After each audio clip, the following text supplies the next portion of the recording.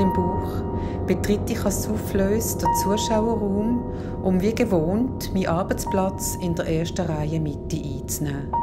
Ein riesiger, rechteckiger Tisch nimmt den ganzen Bühnenraum ein. Um ihn herum sitzen, in großen Abständen und so auch irgendwie vereinzelt wirkend, sämtliche Schauspieler und Schauspielerinnen.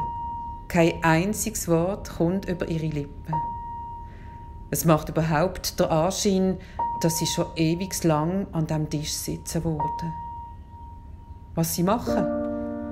Sie reparieren beschädigte oder unvollständige Textbücher.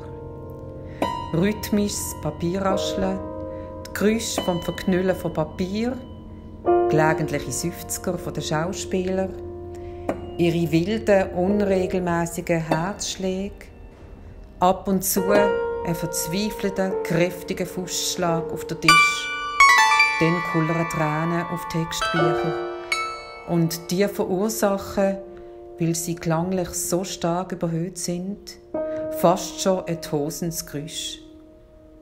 Nach dem Aufwachen male ich mir aus, wie all die gesammelten Textbücher von den letzten fünf Jahren in Reihe und Glied und überdimensioniert am Bühnenrand stehen, in eindrücklicher Fülle.